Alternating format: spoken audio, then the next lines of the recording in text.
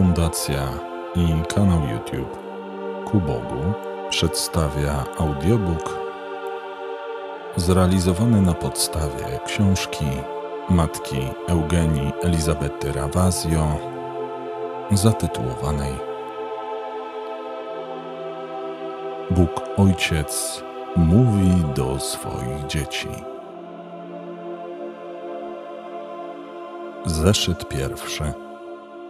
1 lipca 1932 roku. Święto przenajdroższej krwi Pana naszego Jezusa Chrystusa. Oto na zawsze błogosławiony dzień obietnicy Ojca Niebieskiego. Dzisiaj kończą się długie dni przygotowania i czuję, że bliski, bardzo bliski jest moment przyjścia Ojca mojego i Ojca wszystkich ludzi jeszcze kilka minut modlitwy i potem wszelkie duchowe radości. Ogarnia mnie pragnienie zobaczenia i usłyszenia Go. Moje serce, spalane miłością, otwarło się z tak wielką ufnością, iż stwierdzam, że dotąd nigdy i wobec nikogo nie byłam tak ufna. Myśl o moim ojcu doprowadziła mnie jakby do szaleństwa radości końcu zaczynam słyszeć śpiewy. Przychodzą aniołowie i zapowiadają to uszczęśliwiające przybycie. Ich śpiewy były tak piękne, że postanowiłem sobie zapisać je, jak to tylko będzie możliwe. Harmonia ta ustała na moment i oto orszak wybranych, cherubinów, serafinów, z Bogiem naszym Stwórcą i Ojcem naszym. Padłam twarzą do ziemi, pogrążona w przepaści mojej nicości. Odmawiałam magnifikat. Zaraz potem ojciec powiedział mi, żebym usiadła z nimi zapisała to, co postanowił przekazać ludziom. Cały jego orszak, który mu towarzyszył, zniknął. Pozostał ze mną jedynie ojciec i zanim usiadł, rzekł do mnie: Już ci powiedziałem i jeszcze raz mówię. Nie mogę już drugi raz ofiarować mojego umiłowanego syna, aby udowodnić moją miłość do ludzi. Jednak przychodzę między nich, przyjmując podobieństwo do nich i ich ograniczoność, aby ich kochać i aby poznali tę miłość Popatrz. Odkładam moją koronę i całą moją chwałę, aby przybrać postawę zwyczajnego człowieka. Po przyjęciu postawy zwyczajnego człowieka, złożywszy koronę i chwałę u swych stóp, położył kulę ziemską na swym sercu, podtrzymując ją lewą ręką. Następnie usiadł obok mnie. O jego przybyciu postawie, którą zechciał przybrać. O Jego miłości mogę powiedzieć zaledwie kilka słów. W moim nieuctwie nie znajduję słów, aby wyrazić to, co Bóg dał mi do zrozumienia. Pokój i zbawienie temu domowi i całemu światu. Niech moja potęga, moja miłość i mój święty duch poruszą serca ludzi aby cała ludzkość zwróciła się ku zbawieniu i przyszła do swego Ojca. On bowiem szuka jej, aby okazać jej miłość i zbawić ją. Niech mój namiestnik Pius XI zrozumie, że to są dni zbawienia i błogosławieństwa. Oby nie została zmarnowana okazja zwrócenia uwagi dzieci na Ojca, który przychodzi, by czynić im dobro w tym życiu – i przygotować im wiekuistą szczęśliwość. Wybrałem ten dzień na rozpoczęcie mojego dzieła wśród ludzi, bowiem jest to święto przenajdroższej krwi mojego Syna Jezusa. Zamierzam zanurzyć w tej krwi dzieło, które zaczynam, aby przyniosło wielkie owoce w całej ludzkości. Oto prawdziwy cel mojego przyjścia. Przychodzę aby wygnać przesadny lęk, który moje stworzenia odczuwają wobec mnie.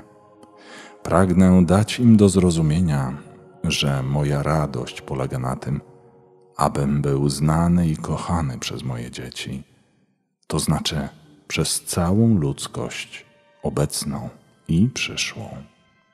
Przychodzę przynieść nadzieję ludziom i narodom, iluż od dawna już ją utraciło. Ta nadzieja pozwoli im pracować dla swego zbawienia, żyjąc w pokoju i bezpieczeństwie.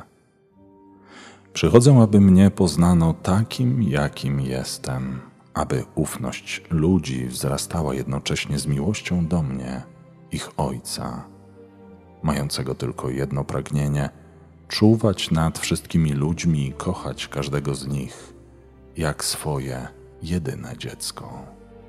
Malarz lubuje się w kontemplowaniu obrazu, który namalował. Podobnie ja znajduję upodobanie i radość w przychodzeniu do ludzi, arcydzieła mego dzieła stworzenia. Czas nagli. Chciałbym, żeby człowiek dowiedział się jak najprędzej, że kocham go i doznaję największej radości, przebywając z nim i rozmawiając jak ojciec ze swymi dziećmi.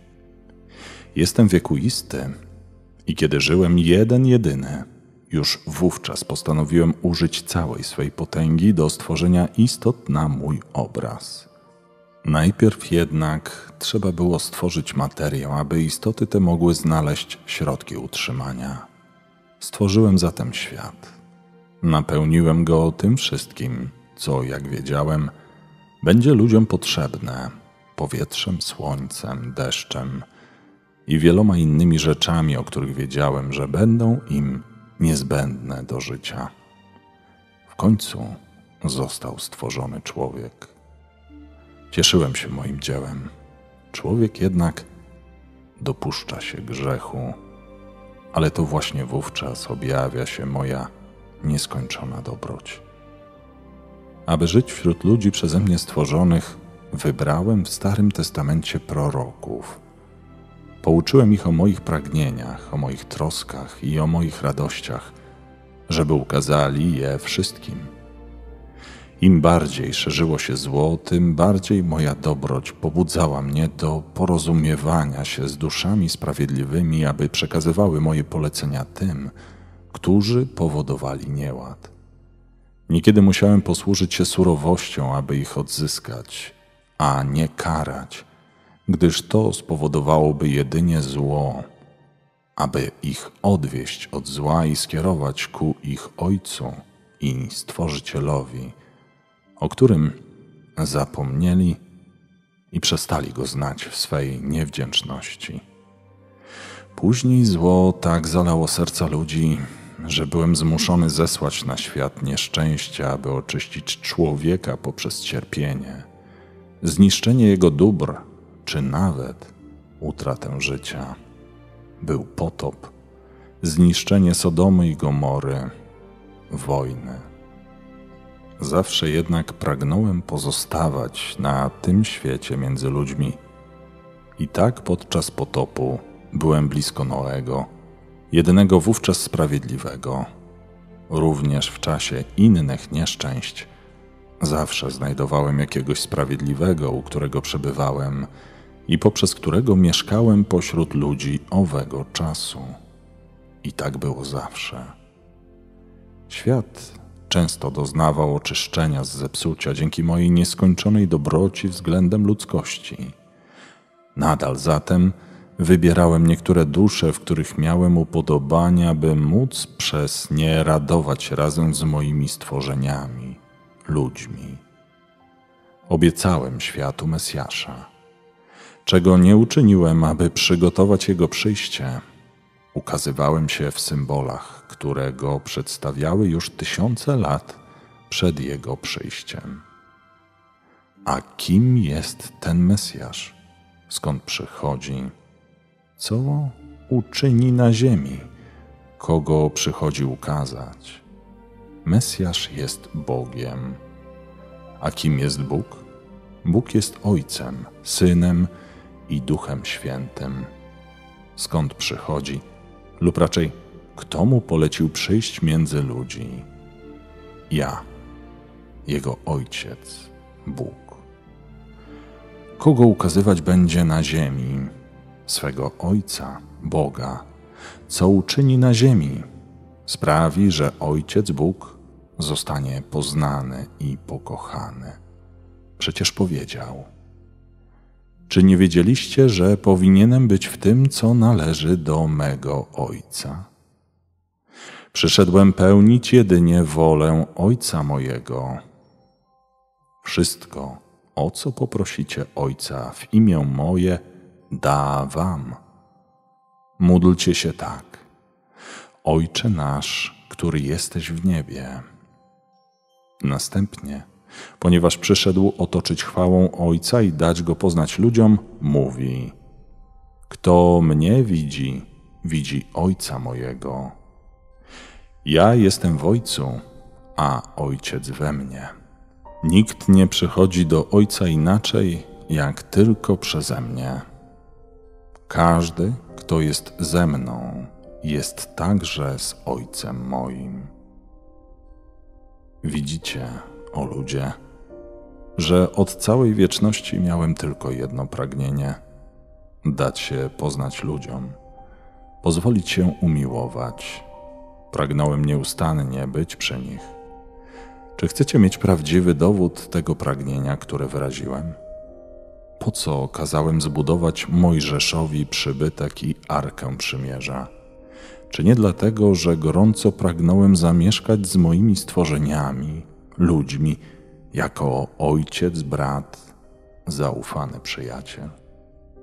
Mimo to ludzie o mnie zapomnieli, obrażali mnie niezliczonymi grzechami, dlatego dałem Mojżeszowi moje przykazania, żeby mimo wszystko pamiętali o Bogu, ich Ojcu i o Jego jedynym pragnieniu zbawienia ich.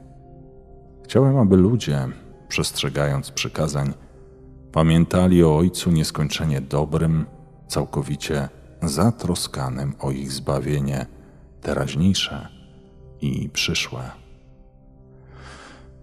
Wszystko to znowu poszło w niepamięć i ludzie pogrążyli się w błędzie i strachu, uważając za męczące przestrzeganie przykazań, które dałem im przez Mojżesza ustanowili inne prawa, odpowiadające ich wadom, łatwiejsze do przestrzegania. Stopniowo, w przesadnym lęku odczuwanym przede mną, coraz bardziej o mnie zapominali i znieważali obelgami. Mimo to, moja miłość do ludzi, moich dzieci, wcale nie ustała. Kiedy stwierdziłem, że ani patriarchowie, ani prorocy nie potrafili sprawić, by ludzie mnie poznali i pokochali, postanowiłem przejść ja sam. Ale jak to zrobić, żeby znaleźć się między ludźmi? Nie było innego sposobu, jak tylko przyjść samemu w drugiej osobie mojego bóstwa. Czy jednak ludzie mnie poznają? Czy mnie posłuchają? Żadne przyszłe wydarzenia nie są przede mną ukryte. Dlatego na te obydwa pytania odpowiedziałem sobie sam. Nawet będąc blisko mnie, zlekceważą moją obecność. W moim synu źle się ze mną obejdą pomimo całego dobra, jakie im wyświadczy. Znieważą mnie w moim synu, ukrzyżują, aby mnie zabić. Czy to mnie powstrzyma? Nie, Moja miłość do moich dzieci, ludzi jest zbyt wielka. Nic mnie nie powstrzymało. Uznajcie więc słusznie, że was ukochałem, można by rzec bardziej niż mojego umiłowanego syna, lub ściślej mówiąc, bardziej od siebie samego. Jakże prawdziwe jest to, co wam mówię Gdyby bowiem życie i śmierć jednego z moich stworzeń, podobna do śmierci mojego syna, wystarczyła na zadośćuczynienie za grzechy innych ludzi, zawahałbym się. Dlaczego? Dlatego, że zdradziłbym moją miłość, skazując na cierpienie inne dziecko, które kocham, zamiast cierpieć samemu w moim synu. Nie chciałbym nigdy sprawiać cierpienia moim dzieciom. Oto w skrócie opowieść o mojej miłości aż do mojego przyjścia między ludzi za pośrednictwem mojego syna. Większość ludzi zna te wszystkie wydarzenia, ale ignoruje istotę rzeczy to, że miłość wszystkim kierowała. Tak, to jest miłość. Ona jest tym, na co pragnę Wam zwrócić uwagę. Teraz jednak ta miłość jest zapomniana. Pragnę ją Wam przypomnieć, abyście nauczyli się poznawać mnie takim, jaki jestem. Nie bądźcie więc bojaźliwi jak niewolnicy wobec Ojca, który tak bardzo Was kocha. W tej opowieści, jak widzicie, jesteśmy dopiero w pierwszym dniu pierwszego wieku a chciałbym doprowadzić ją aż do naszych dni, do XX wieku. O jakże moja miłość, miłość ojcowska została przez ludzi zapomniana, a przecież tak czule Was kocham. Czegóż nie uczyniłem w moim synu, to jest w osobie syna mojego, który stał się człowiekiem. Bóstwo ukryło się w tej ludzkiej naturze małej, biednej, upokorzonej. Prowadziłem z moim synem Jezusem życie pełne wyrzeczeń i pracy. Przyjmowałem jego modlitwy, aby wytyczyć człowiekowi drogę pozwalającą mu zawsze postępować sprawiedliwie, a w końcu bezpiecznie dojść do mnie.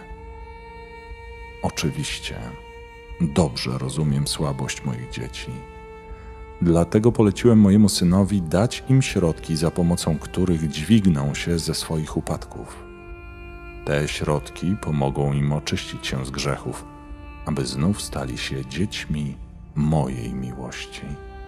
To głównie siedem sakramentów, jednak najdonioślejszym środkiem dla waszego zbawienia, pomimo waszych upadków, jest krzyż a na nim najdroższa krew mojego syna, która, gdy tylko tego pragniecie, w każdej chwili wylewa się na was, czy to w sakramencie pokuty, czy podczas najświętszej ofiary mszy. Moje drogie dzieci, już od dwudziestu wieków napełniam was tymi dobrodziejstwami i specjalnymi łaskami, a rezultat jest bardzo mizerny. Ileż to moich stworzeń, stawszy się przez syna mojego dziećmi mojej miłości, bardzo szybko rzucało się w wieczystą otchłań. Zaprawdę nie poznali mojej nieskończonej dobroci, a ja tak bardzo was kocham. Przynajmniej wy, którzy wiecie, iż ja sam przychodzę, aby z wami rozmawiać, aby dać wam poznać moją miłość nie rzucajcie się w otchłań przez litość nad sobą. Jestem waszym ojcem. Gdybyście nazwali mnie ojcem i dalibyście mi świadectwo waszej miłości, czyż moglibyście znaleźć we mnie serce tak zatwardziałe i tak nieczułe, że pozwoliłoby wam zginąć? Nie, nie, nie wierzcie w to. Jestem najlepszym z ojców. Znam słabość moich stworzeń Przyjdźcie do mnie, przyjdźcie z ufnością i miłością, a ja po waszej skrusze przebaczę wam. Nawet gdyby wasze grzechy były tak odrażające jak bagno, wasza ufność i wasza miłość pozwoli mi o nich zapomnieć do tego stopnia, że nie zostaniecie osądzeni. Jestem sprawiedliwy, to prawda, ale miłość odpłaca za wszystko. Posłuchajcie, moje dzieci. Przy pomocy pewnego porównania pragnę zapewnić Was o mojej miłości. Dla mnie Wasze grzechy są jak żelazo, a Wasze akty miłości jak złoto. Nawet gdybyście dali mi tysiąc kilogramów żelaza, nie będzie ono znaczyć dla mnie tyle, ile dziesięć kilogramów złota, które mi ofiarujecie.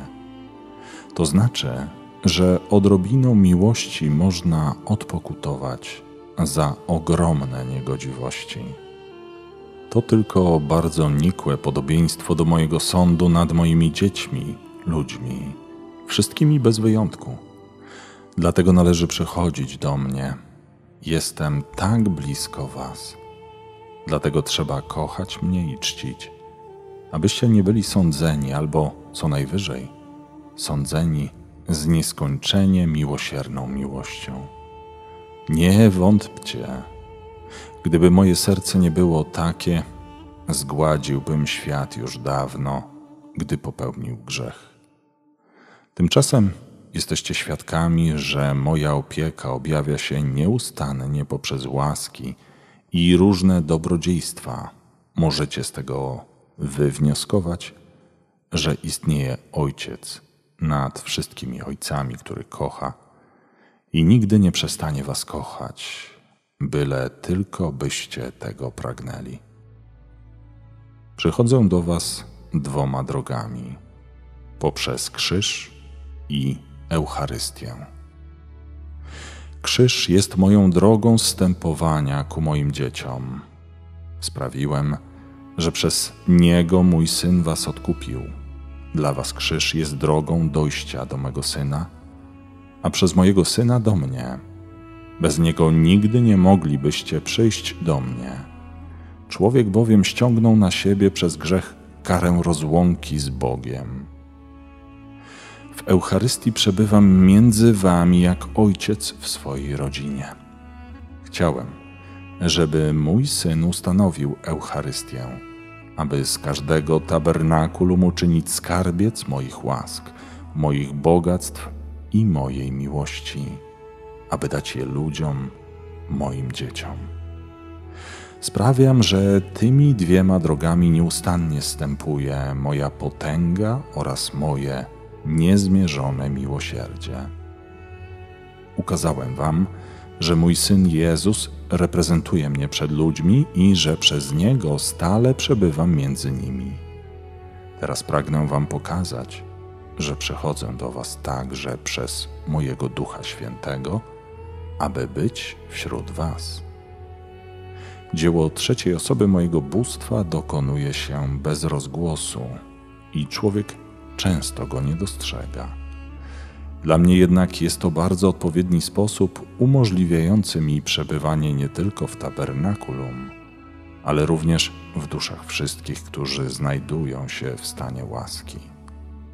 W nich ustanawiam mój tron i tam zawsze przebywam jak prawdziwy ojciec, który kocha, chroni i pomaga swemu dziecku. Nikt nie może pojąć radości, jaką odczuwam, kiedy jestem sam na sam z duszą. Nikt jeszcze nie zrozumiał bezmiernych pragnień mego serca Boga Ojca. Pragnę być znanym, kochanym i czczonym przez wszystkich ludzi, sprawiedliwych i grzeszników. Są to trzy wyrazy hołdu, którego pragnę doznawać od każdego człowieka. Jestem bowiem zawsze miłosierny i dobry, nawet wobec największych grzeszników.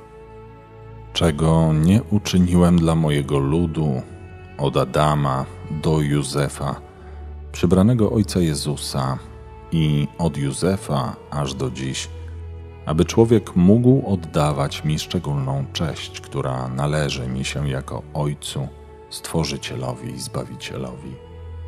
Jednakże tej szczególnej czci, której tak bardzo pragnąłem i pragnę, dotąd mi jeszcze nie okazano. W Księdze Wyjścia czytacie, że Boga należy czcić w szczególny sposób.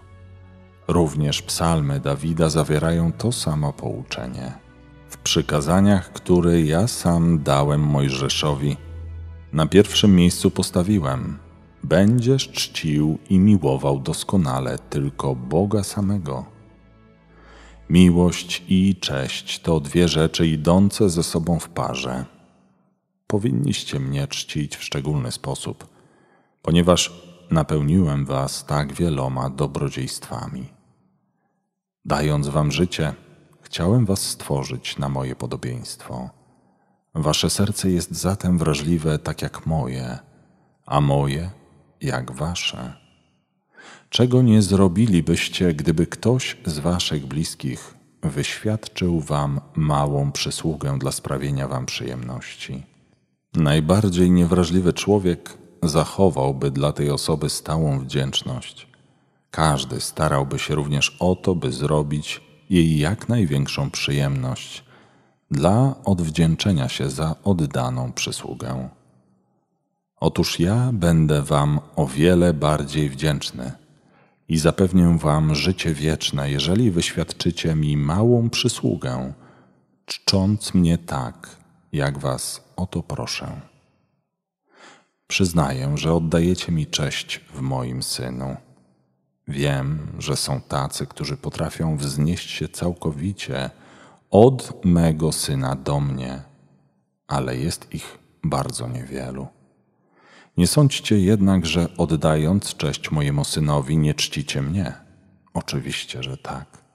Czcicie mnie, ponieważ przebywam w moim synu. Wszystko zatem, co stanowił jego chwałę, jest również moją chwałą. Chciałbym jednak widzieć, że człowiek w szczególny sposób czci swego ojca i stworzyciela. Im bardziej czcić będziecie mnie, tym bardziej uczcicie mego syna, bowiem z mojej woli stał się słowem wcielonym i przyszedł, aby być między wami i dać wam poznać tego, którego posłał. Jeśli mnie poznacie, pokochacie bardziej niż dotychczas mnie i syna mojego umiłowanego. Popatrzcie, ile moich stworzeń, od kiedy stały się moimi dziećmi przez tajemnicę odkupienia, nie żyje na pastwiskach, które przygotowałem dla wszystkich ludzi przez mojego syna. Zobaczcie ilu. O czym wiecie, nie zna jeszcze tych pastwisk. Jak wiele stworzeń, uformowanych moimi rękami, o których istnieniu nic nie wiecie, lecz ja je znam. Nie zna nawet ręki, która je stworzyła. O jakże chciałbym sprawić, by mnie poznano jako Ojca Wszechmogącego. Jestem nim dla Was i chciałbym nim być również dla nich, dzięki moim dobrodziejstwom. Chciałbym spowodować, aby ich życie, dzięki memu prawu, przebiegało bardziej harmonijnie. Chciałbym, żebyście poszli do nich w imię moje i abyście im o mnie mówili.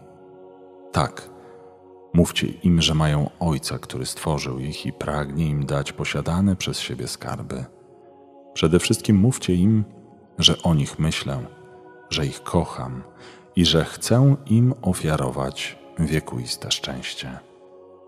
Ach, obiecuję wam, że ludzie bardzo szybko się nawrócą. Wierzcie, iż gdybyście zaczęli, począwszy od pierwotnego kościoła, czcić mnie i sprawiać, by mnie wielbiono ze szczególną czcią. Po dwudziestu wiekach pozostałoby niewielu ludzi żyjących w bałwochwalstwie, w pogaństwie czy w innych fałszywych i złych sektach, do których człowiek pędzi z zamkniętymi oczami, aby rzucić się w otchłań ognia wieczystego. Widzicie, ile jeszcze pracy pozostaje? Moja godzina nadeszła Trzeba, aby ludzie mnie znali, kochali i czcili, abym stworzywszy ich, mógł być ich ojcem, potem zbawicielem i w końcu przedmiotem ich wiekuistych rozkoszy. Dotąd mówiłem wam o rzeczach, które już znaliście. Chciałem je jednak przypomnieć, byście jeszcze bardziej się upewnili, że jestem ojcem najlepszym, a nie strasznym, jak sądzicie i że jestem Ojcem wszystkich ludzi obecnie żyjących oraz tych, których stworzę, aż do końca świata. Wiedzcie, iż pragnę być znany, kochany i przede wszystkim czczony. Niech wszyscy przyjmą z wdzięcznością moją nieskończoną dobroć dla wszystkich, a szczególnie dla grzeszników, chorych, umierających i wszystkich cierpiących Niech wiedzą, że mam tylko jedno pragnienie kochać ich wszystkich, dawać im moje łaski, przebaczać, gdy żałują. Przede wszystkim zaś pragnę nie sądzić ich według mojej sprawiedliwości, lecz według mojego miłosierdzia, aby wszyscy zostali zbawieni i zaliczeni w poczet moich wybranych. Na zakończenie tego małego wykładu składam Wam obietnicę, której skutki będą wieczne. Oto ona. Wzywajcie mnie imieniem Ojca z ufnością i miłością, a wszystko otrzymacie od tego Ojca, doznając równocześnie miłości i miłosierdzia. Niech mój syn, a Twój ojciec duchowny, nauczy się zajmować moją chwałą i przekaże słowo w słowo to, co poleciłem Ci napisać, a także to, co jeszcze każę Ci pisać, aby ludzie uznali, że bez dodawania czegokolwiek łatwo i przyjemnie czyta się pouczenie o tym, co chcę, aby wiedzieli. Będę Ci mówił codziennie po trochu o moich życzeniach w stosunku do ludzi, o moich radościach, o moich zmartwieniach, a przede wszystkim będę ukazywać ludziom moją bezgraniczną dobroć i tkliwość mej współczującej miłości. Chciałbym też, ażeby Twoje przełożone pozwoliły Ci spożytkować wolne chwile na spotkania ze mną, byś mogła przez pół godziny dziennie pocieszać mnie, kochać mnie. W ten sposób przyczynisz się do tego, że serca ludzi, moich dzieci, będą dobrze przysposobione do pracy nad szerzeniem kultu, którego formę właśnie Wam przedstawiłem. Dzięki niemu dojdziecie do wielkiej zażyłości z Ojcem, który pragnie być kochany przez swoje dzieci.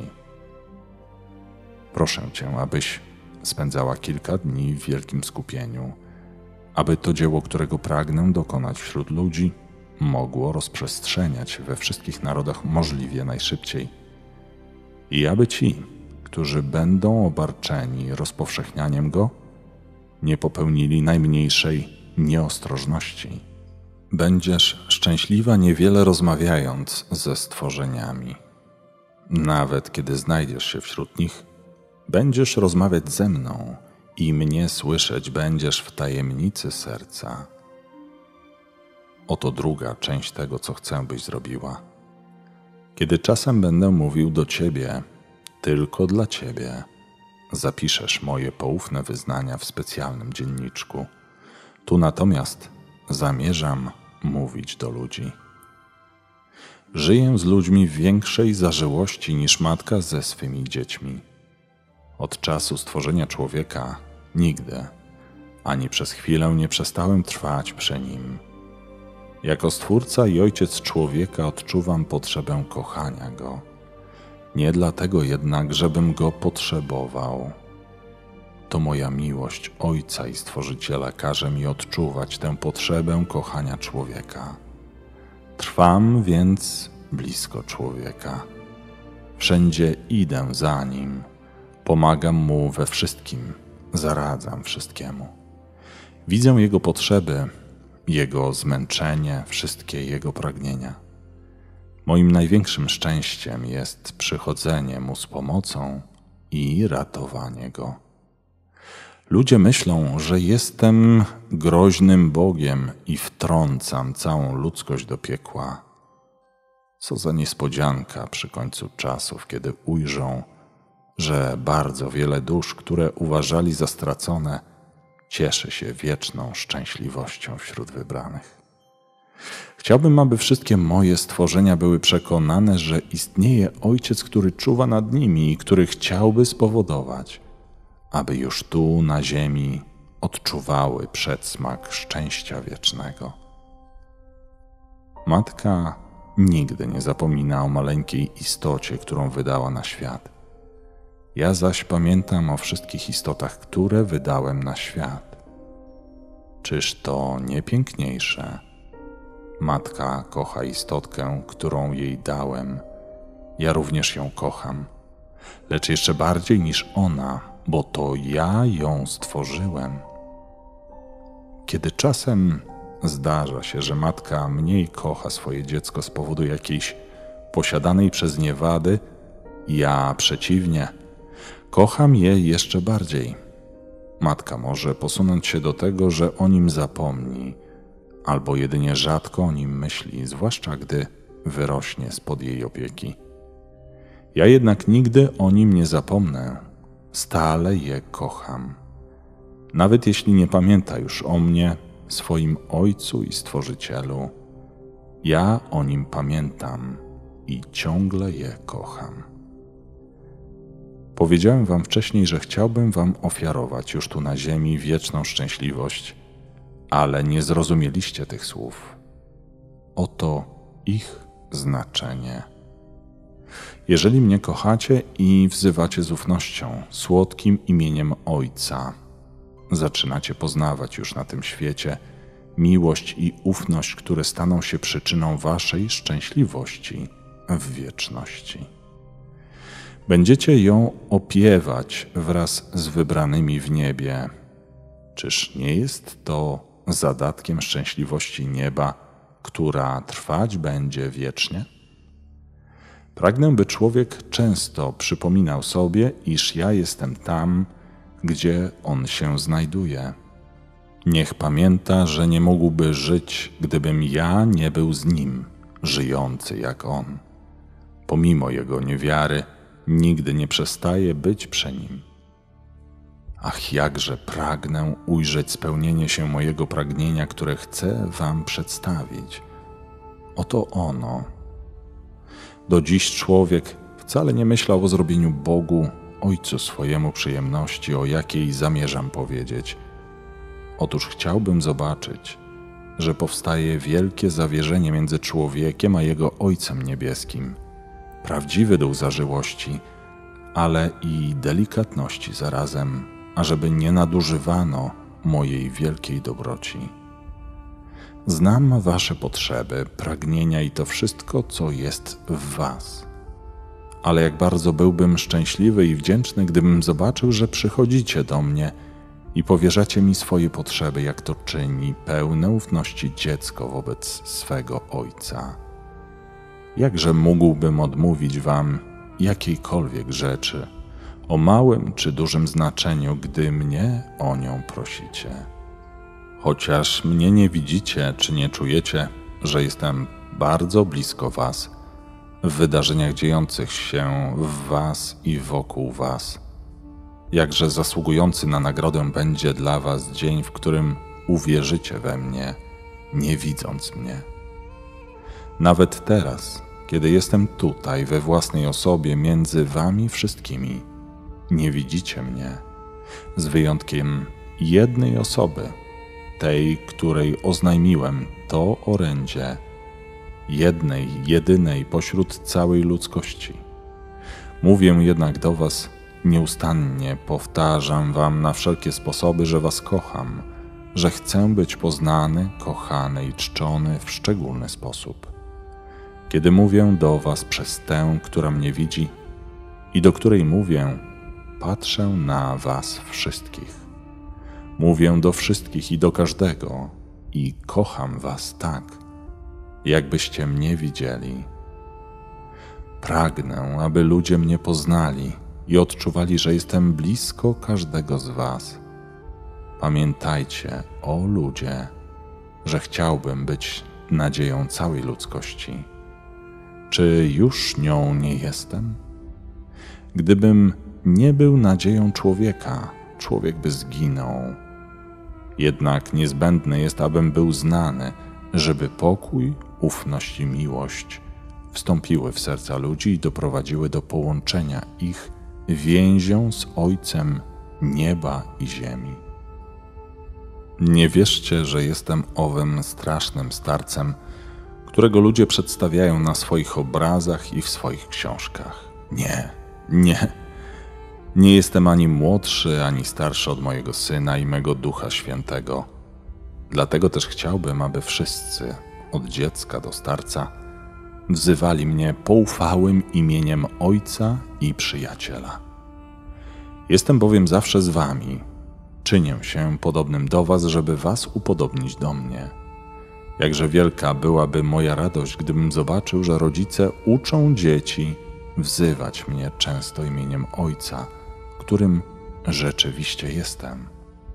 Jak bardzo pragnąłbym widzieć, że zakorzenia się w tych młodych duszach ufność i w pełni dziecięca miłość do mnie, Ja wszystko zrobiłem dla Was, a czy Wy nie zrobicie tego dla mnie? Chciałbym zamieszkać na stałe w każdej rodzinie, jak w swoim królestwie, aby każdy mógł powiedzieć z całą pewnością: Mamy Ojca, który jest nieskończenie dobry, ogromnie bogaty i niezwykle miłosierny. Myśli o nas i jest blisko nas. Patrzy na nas, sam nas wspiera i da nam wszystko, czego nam brak, jeżeli go poprosimy. Wszystkie Jego bogactwa są nasze. Będziemy mieć wszystko, czego potrzebujemy. Jestem tu właśnie dlatego, byście mnie prosili o to, czego potrzebujecie. Proście, a otrzymacie. W mojej ojcowskiej dobroci dam wam wszystko, aby każdy mógł uważać mnie za prawdziwego ojca żyjącego, jak jest naprawdę wśród swoich. Pragnę także, aby każda rodzina posiadała na widocznym dla wszystkich miejscu obraz, który później dam poznać mojej córeczce. Chcę, aby w ten sposób każda rodzina oddała się pod moją szczególną opiekę, by móc mnie łatwiej obdarzać czcią. Tam codziennie rodzina pozwoli mi uczestniczyć w swoich potrzebach, pracach, troskach, cierpieniach, pragnieniach, a także w radościach, bowiem ojciec musi wiedzieć o wszystkim, co dotyczy jego dzieci. Ja o tym wiem oczywiście, ponieważ jestem tam, ale tak bardzo lubię prostotę. Umiem się do Was dostosować, czynię się małym z małymi, dorosłym z dorosłymi. Wobec starców czynię się do nich podobnym, aby wszyscy zrozumieli to, co pragnę im powiedzieć dla ich uświęcenia i mojej chwały. Czy nie mieliście dowodu na to, co wam mówię, w moim synu, który uczynił się małym i słabym jak wy? Czy nie macie tego dowodu również teraz, widząc mnie tutaj mówiącego do was? Czyż nie wybrałem biednego stworzenia, takiego jak wy, aby mówić do was i abyście mogli zrozumieć to, co chcę wam powiedzieć. Czy teraz nie staję się podobnym do was? Widzicie? Położyłem moją koronę u mych stóp, a świat na moim sercu. Zostawiłem moją chwałę w niebie i przyszedłem tutaj, czyniąc się wszystkim dla wszystkich, biednym z biednymi, bogatym z bogatymi. Jak czuły ojciec, pragnę chronić młodzież. Jest tyle zła na świecie. Te biedne, niedoświadczone dusze pozwalają się zwodzić przez pokusy nałogu, doprowadzającego je powoli do całkowitej ruiny. O wy, którzy szczególnie potrzebujecie kogoś, kto by was strzegł w życiu, dla uniknięcia zła przyjdźcie do mnie. Jestem ojcem, który bardziej was kocha, niż może was kiedykolwiek pokochać jakiekolwiek inne stworzenie. Schrońcie się blisko, blisko mnie. Powierzcie mi wasze myśli i pragnienia. Będę was czule kochał. Dam wam łaski na chwilę obecną i pobłogosławię waszą przyszłość. Bądźcie pewni, że o was nie zapomnę po 15, 25 czy 30 latach od chwili, kiedy was stworzyłem. Przyjdźcie. Widzę, że bardzo potrzebujecie Ojca łagodnego i nieskończenie dobrego, takiego jak ja. Nie będę się dłużej zatrzymywał nad wieloma innymi sprawami, które może byłoby dobrze tu poruszyć. Powiem o nich później. Teraz chcę w zupełnie szczególny sposób mówić do dusz, które sobie wybrałem, do kapłanów i zakonników, do Was, drogie dzieci mojej miłości. Mam wielkie plany wobec Was. Do papieża. Przede wszystkim zwracam się do Ciebie synu mój umiłowany, do Ciebie, mój wikariuszu, aby w Twoje ręce złożyć to dzieło. Powinno ono być pierwsze ze wszystkich, a tymczasem z powodu lęku, jaki szatan podsunął człowiekowi, dopiero w tym czasie się dokona. A chciałbym, żebyś pojął zakres tego dzieła, jego wielkość, szerokość, głębokość i wysokość. Chciałbym, żebyś pojął ogrom moich pragnień wobec obecnej i przyszłej ludzkości. Gdybyś wiedział, jak pragnę być znany, kochany i otaczany szczególną czcią przez ludzi, to pragnienie jest we mnie od całej wieczności i od stworzenia pierwszego człowieka. Wiele razy wyrażałem je przed ludźmi, zwłaszcza w Starym Testamencie, ale człowiek nigdy tego nie zrozumiał. Ono sprawia, że zapominam teraz o całej przeszłości, oby tylko spełniło się obecnie w odniesieniu do moich stworzeń na całym świecie. Zniżam się do najbiedniejszego z moich stworzeń, do mojej córki, abym mógł mówić z nią w jej niewiedzy i mówić do ludzi przez nią, nieświadomą ogromu dzieła, którego chciałbym dokonać wśród nich. Nie mogę z nią rozmawiać o teologii, na pewno by mi się to nie powiodło, nie zrozumiałaby. Pozwalam, aby tak było, żeby zrealizować moje dzieło przy pomocy prostoty i niewinności. Teraz jednak kolej na ciebie, byś przestudiował to dzieło i jak najszybciej doprowadził do realizacji. Aby być znanym, kochanym i szczególnie czczonym, nie proszę o nic nadzwyczajnego, o to, czego jedynie chcę.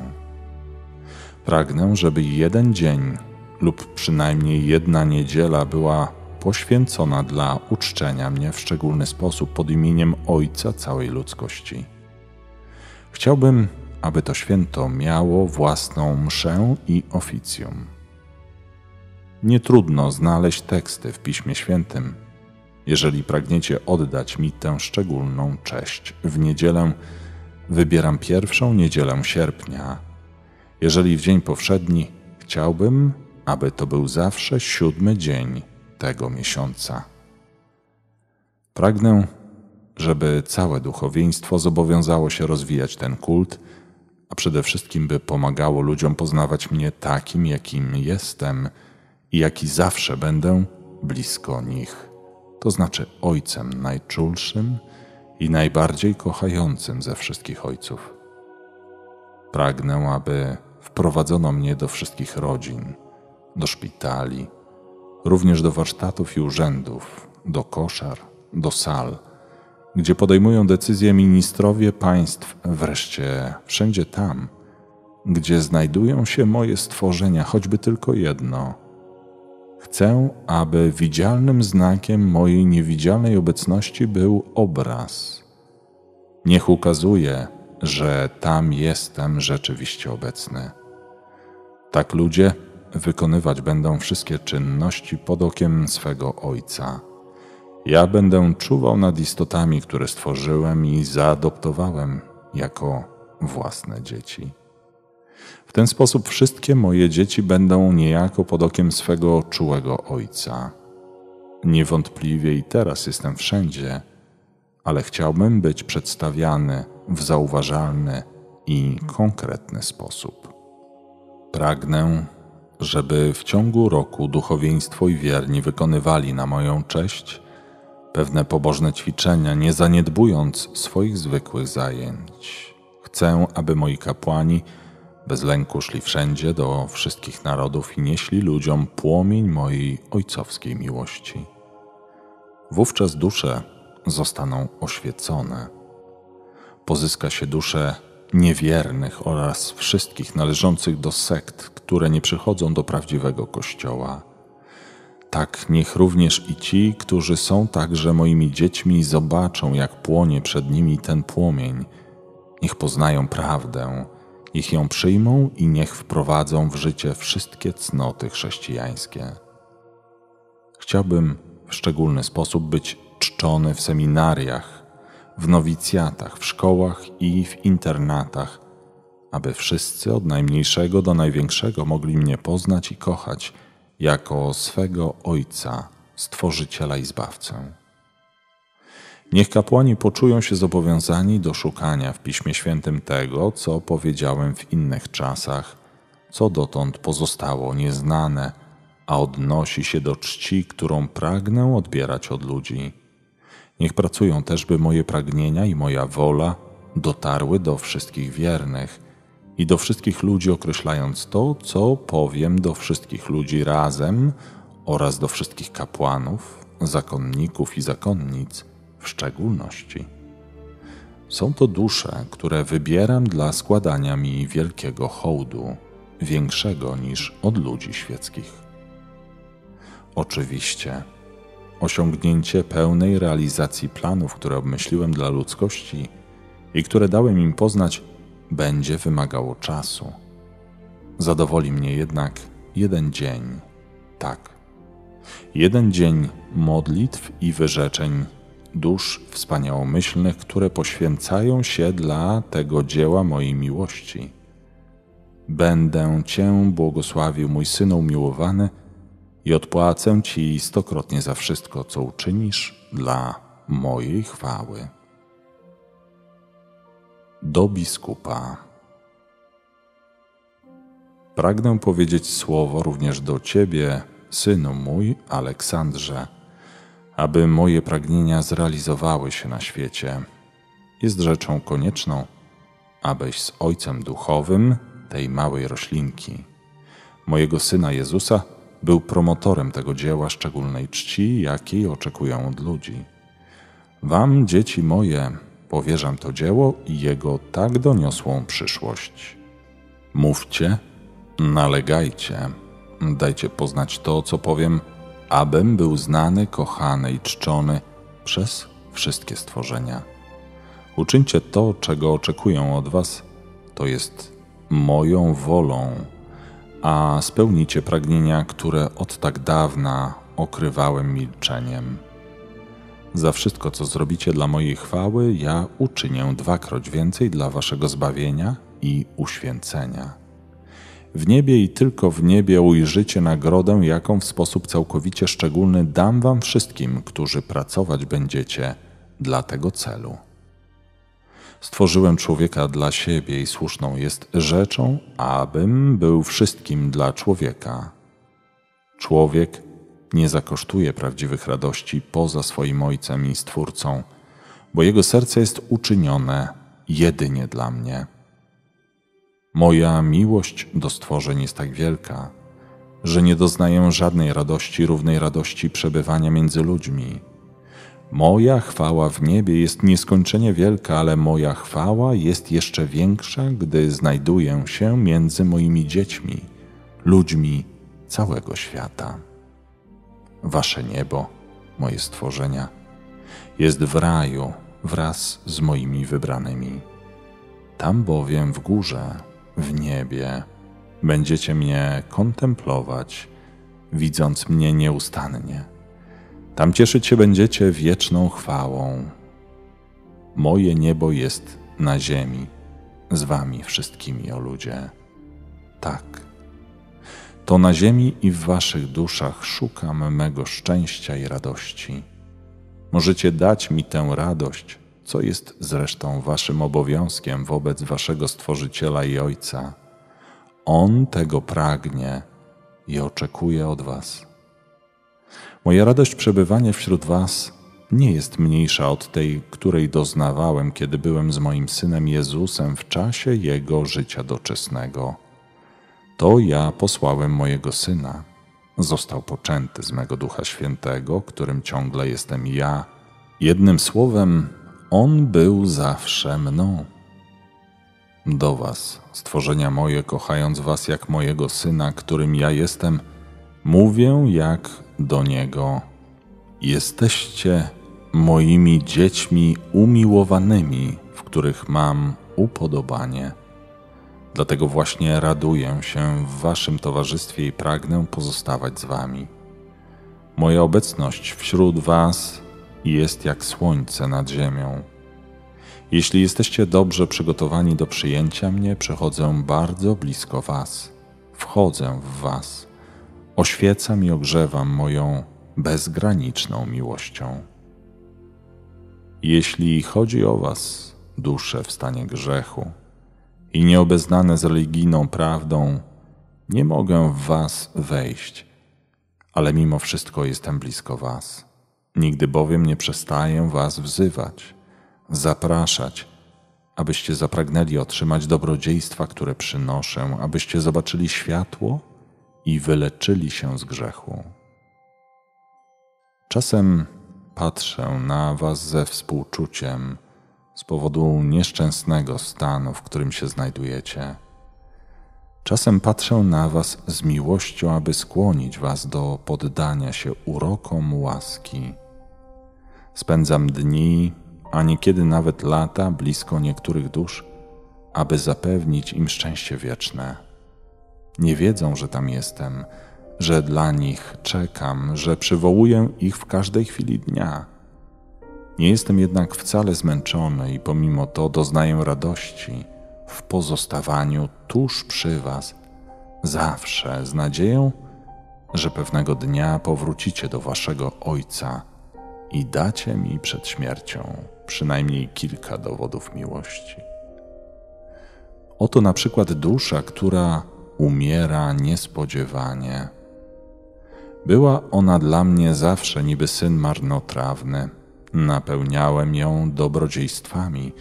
Ona jednak odchodziła, trwoniąc wszystkie te dobrodziejstwa, te darmowe łaski swego najłaskawszego Ojca. Co więcej, jeszcze ciężko mnie obrażała. Czekałem na nią, wszędzie za nią chodziłem. Dawałem jej nowe łaski, takie jak zdrowie. Sprawiałem też, że jej prace owocowały w nadobfitości dobrami, dzięki czemu miała ich nadmiar. Moja opatrzność dostarczała jej czasem jeszcze nowych. Żyła więc w dostatku, jednak nie widziała w smutnym mroku swych nałogów, że całe jej życie było pasmem błędów przez stały grzech śmiertelny. Moja miłość jednak nigdy się nie znużyła. Szedłem za nią, kochałem ją.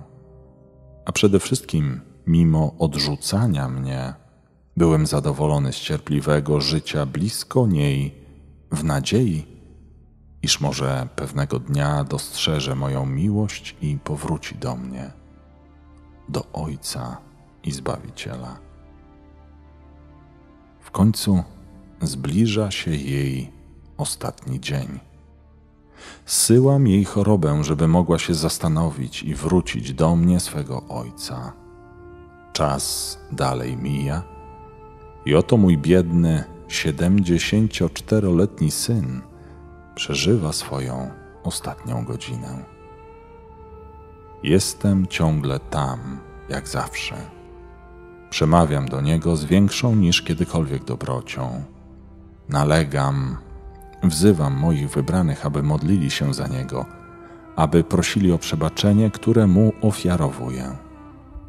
W tym momencie, przed wydaniem ostatniego tchnienia, otwiera oczy, uznaje swoje grzechy. I to, jak bardzo oddalał się od prawdziwej drogi prowadzącej do mnie. Następnie przychodzi do siebie i żałosnym głosem, którego nikt z obecnych wokół nie słyszy, mówi mi: Boże mój, teraz widzę, jak Twoja miłość do mnie, o Panie, była wielka, a ja stale Cię obrażałem tak złym życiem. Nigdy nie myślałem o Tobie, Panie, mój Ojcze, mój Zbawicielu. Ty widzisz teraz wszystko Proszę Cię, Panie, o wybaczenie mi całego tego zła, które widzisz we mnie i które wyznaję w zawstydzeniu. Kocham Cię, mój Ojcze i Zbawicielu. Umarł w tej samej chwili. Oto jest przede mną. Sądzę go z miłością Ojca, jak mnie nazwał, i jest zbawiony. Przez pewien czas pozostanie w miejscu ekspiacji, potem będzie szczęśliwy na wieki. A ja, jak za jego życia radowałem się w nadziei, że zbawię go przez jego skruchę, tak jeszcze bardziej raduję się z moim dworem niebieskim, że zrealizowałem moje pragnienie i że jestem jego ojcem na całą wieczność. Jeśli chodzi o dusze, które żyją w sprawiedliwości i w łasce uświęcającej, to zamieszkując w nich, doznaję radości. Oddaję się im. Przekazuję im posługiwanie się moją potęgą i znajdują one, wraz z moją miłością, zadatek raju we mnie, swoim Ojcu i Zbawicielu. Koniec pierwszego zeszytu orędzia. Zeszyt drugi.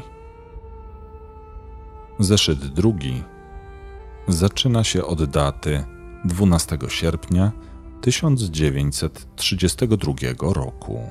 Właśnie otworzyłem źródło wody żywej, które nigdy nie wyschnie, począwszy od dziś, aż do końca czasów. Przychodzę do Was, stworzenia moje, aby otworzyć przed Wami ojcowskie serce płonące miłością do Was. Moje dzieci. Chcę, byście były świadkami mojej bezgranicznej i miłosiernej miłości. Nie wystarcza mi ukazywanie Wam mojej miłości. Chcę jeszcze otworzyć przed Wami moje serce, z którego wytryśnie orzeźwiające źródło. Przy nim wszyscy ludzie ugaszą pragnienie, zakosztują wówczas radości, których dotąd nie znali z powodu ogromnego lęku przede mną ich czułym Ojcem. Od kiedy obiecałem ludziom Zbawiciela, kazałem wytrysnąć temu źródłu. Sprawiłem, że przepływa ono przez serce mojego Syna, aby dotrzeć do Was. Moja ogromna miłość do Was pobudza mnie, bym jeszcze więcej uczynił, otwierając moje łono. Z niego wytryśnie woda zbawienia dla moich dzieci i pozwolę im czerpać do woli wszystko, czego potrzebują teraz i w wieczności. Jeżeli chcecie poznać potęgę źródła, o którym mówię, musicie nauczyć się najpierw lepiej mnie znać i kochać, aż do stopnia upragnionego przeze mnie, czyli nie tylko jako ojca, ale również jako waszego przyjaciela i powiernika. Dlaczego dziwi was to, co wam mówię? Czy nie stworzyłem was na mój obraz? Stworzyłem was na moje podobieństwo, byście nie znajdowali niczego dziwnego w tym, że rozmawiacie i przyjaźnicie się z waszym Ojcem, Stwórcą i Bogiem. Przecież dzięki mojej miłosiernej miłości staliście się dziećmi mojej ojcowskiej i boskiej miłości. Mój syn Jezus jest we mnie a ja jestem w Nim, w naszej wzajemnej miłości. Jest nią Duch Święty, trzymający nas złączonych więzią miłości, która sprawia, że stanowimy jedno. Mój syn jest zbiornikiem tego źródła. Ludzie mogą przychodzić i czerpać z jego serca stale pełnego wody zbawienia, aż do przelania. Trzeba wam jednak przekonać się, co do tego źródła, które mój syn wam otwiera, byście mogli doświadczyć, iż jest orzeźwiające i przyjemne. Więc przyjdźcie do mnie za pośrednictwem mojego syna. Kiedy będziecie blisko mnie, powierzycie mi wasze pragnienia. Pokażę wam to źródło, dając się poznać takim, jaki jestem. Kiedy mnie poznacie, będziecie orzeźwieni odnowieni. Wasze choroby zostaną wyleczone, wasze lęki rozwieją się. Wasza radość będzie ogromna, a wasza miłość znajdzie bezpieczeństwo, jakiego dotychczas nie doświadczyła. Ale w jaki sposób, powiecie mi, możemy przyjść do Ciebie? Ach, przyjdźcie drogą zawierzenia. Nazywajcie mnie Ojcem Waszym Kochajcie mnie w duchu i prawdzie, a to wystarczy, by ta orzeźwiająca i przepotężna woda ugasiła wasze pragnienie. Jeżeli naprawdę chcecie, żeby dała wam wszystko, czego wam brak do poznania mnie i umiłowania, i jeżeli czujecie się zimni i obojętni, wezwijcie mnie tylko słodkim imieniem Ojca, a przyjdę do was. Moje źródło ofiarowuje wam miłość, ufność i to wszystko, czego wam brak, aby być zawsze kochanymi przez waszego Ojca i Stworzyciela. Ponieważ przede wszystkim pragnę dać się poznać wszystkim, aby wszyscy mogli się radować już tu na ziemi moją dobrocią i czułością? Stańcie się apostołami dla tych, którzy mnie nie znają, którzy jeszcze mnie nie znają. Ja pobłogosławię wasze trudy i wysiłki i przygotuję wam wielką chwałę blisko mnie w wieczności. Jestem oceanem miłości miłosiernej, dzieci moje. Oto inny dowód miłości ojcowskiej, którą mam dla Was wszystkich bez wyjątku, bez względu na Wasz wiek, stan, kraj. Nie wykluczam nawet różnych zrzeszeń i sekt, wiernych i niewiernych. Zamykam w tej miłości wszystkie istoty rozumne, których całość tworzy ludzkość. Oto dowód Jestem oceanem miłości. Dałem wam poznać źródło, które wypływa z mego łona, aby ugasić wasze pragnienie. Teraz, kiedy doświadczacie, jak jestem dobry dla wszystkich, zamierzam pokazać wam ocean mojej powszechnej miłości miłosiernej, byście rzucili się weń z zamkniętymi oczami. Dlaczego? Dlatego, że zanurzając się w tym oceanie, w tej kąpieli miłości miłosiernej, dusze, podobne do kropli gorzkich z powodu wad i grzechów, pozbywają się nadmiaru goryczy. Wychodzą z tej kąpieli lepsze, szczęśliwsze, bo nauczyły się być dobrymi i pełnymi miłości. Jeżeli z powodu niewiedzy lub słabości stajecie się ponownie gorzkimi kroplami, ja nadal jestem oceanem miłości miłosiernej, gotowym przyjąć tę kroplę goryczy, aby przemienić ją w miłość, w dobroć, aby uczynić was świętymi, jak jestem nim ja, wasz Ojciec. Czy chcecie, dzieci moje, spędzić tu na ziemi życie w pokoju i radości? Przyjdźcie więc i rzućcie się w ten ogromny ocean i pozostaniecie w nim zawsze, spędzając jednak życie pracowicie. Takie życie będzie uświęcone przez miłosierną miłość. Jeśli chodzi o moje dzieci, które nie żyją w prawdzie, to tym bardziej pragnę obsypać je moimi najbardziej ojcowskimi uczuciami by otworzyły oczy na światło, które w tym czasie świeci bardziej zauważalnie niż kiedykolwiek. Teraz jest czas łaski, przewidziany i oczekiwany od wieczności. Jestem tu we własnej osobie, aby z Wami rozmawiać. Przychodzę jak najczulszy i najbardziej kochający z ojców. Zniżam się, zapominam o sobie, by podnieść Was ku sobie i zapewnić Wam zbawienie. Wy wszyscy, którzy żyjecie dziś, a także Wy, którzy żyć będziecie przez stulecia aż do końca świata, pomyślcie, że nie żyjecie sami.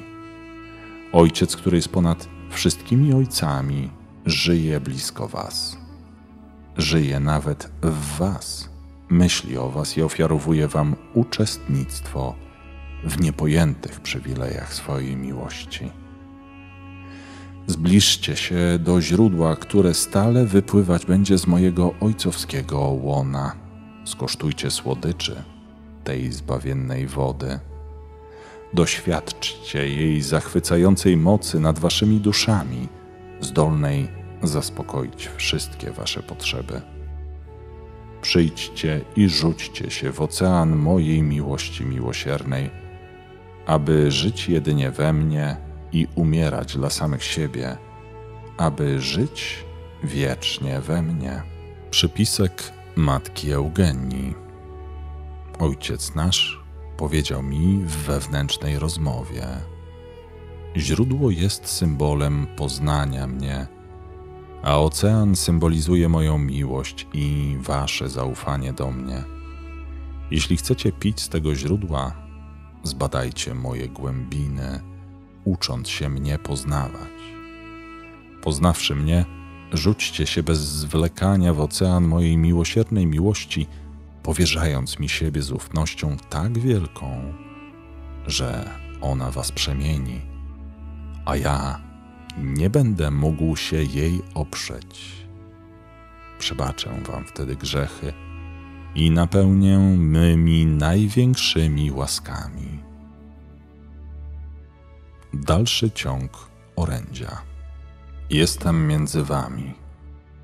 Szczęśliwi ci, którzy wierzą w tę prawdę i korzystają z czasu, o którym pisma mówiły, iż nadejdzie czas, w którym Bóg będzie musiał być czczony i kochany przez ludzi tak, jak tego pragnie.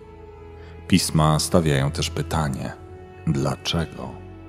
I odpowiadają: dlatego, że jedynie On godzien jest czci, miłości i chwały na wieki. Jako pierwsze z dziesięciu przykazań Mojżesz otrzymał ode mnie samego takie polecenie dla ludzi: Kochajcie, uwielbiajcie Boga. Ludzie, którzy są już chrześcijanami, mogą mi powiedzieć: My kochamy od naszego przyjścia na świat lub od naszego nawrócenia, bo często mówimy w modlitwie niedzielnej: Ojcze nasz, który jesteś w niebie. Tak, to prawda, dzieci moje, kochacie mnie i czcicie, gdy wypowiadacie pierwsze wezwanie Ojcze nasz. Mówcie jednak dalsze prośby, a zobaczycie. Święcie imię Twoje. Czy moje imię jest święcone? Dalej mówicie: Przyjdź królestwo Twoje. Czy moje królestwo przyszło? Czcicie, to prawda, z całą żarliwością królewską godność syna mojego Jezusa, a w nim czcicie mnie. Czy odmówicie waszemu ojcu tej wielkiej chwały, ogłaszając mnie królem, albo przynajmniej pozwalając mi królować, aby wszyscy mogli mnie poznać i umiłować? Pragnę, abyście obchodzili uroczyście święto królewskiej godności mego syna Jezusa, aby wynagradzać za obelgi, którymi obrzucano go przed Piłatem, za zniewagi doznane od żołnierzy, którzy biczowali jego święte i niewinne ciało człowiecze. Nie proszę o usunięcie tego święta. Przeciwnie, proszę, byście obchodzili je uroczyście z zapałem i żarliwością.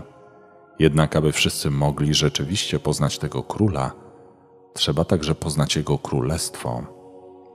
Otóż, ażeby dojść w sposób doskonały do tego podwójnego poznania, trzeba jeszcze poznać Ojca tego króla, Stwórcę tego królestwa.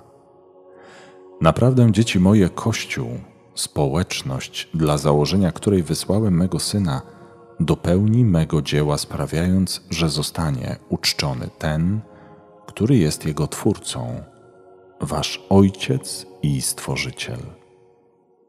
Dzieci moje, niektórzy z was mogą mi powiedzieć: Kościół wzrastał nieustannie, chrześcijanie są coraz liczniejsi. Jest to wystarczającym dowodem, że nasz Kościół jest doskonały.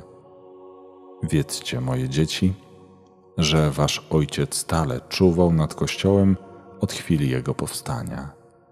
Wraz z moim synem i Duchem Świętym chciałem, aby był nieomylny poprzez mojego namiestnika, Ojca Świętego. Czy nie jest jednak prawdą, że gdyby chrześcijanie poznali mnie takim, jakim jestem, to znaczy Ojcem tkliwym i miłosiernym, dobrym i hojnym, praktykowaliby z większym zaangażowaniem i szczerością tę świętą religię.